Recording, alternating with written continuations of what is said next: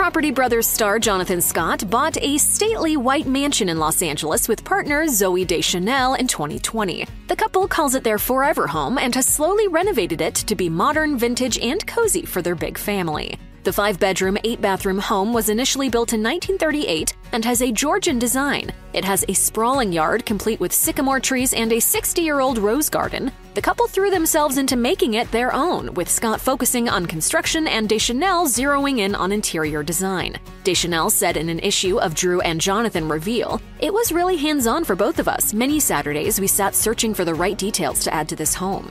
It has since been completely renovated with all the newest appliances and safety features, and the family is enjoying their historic home.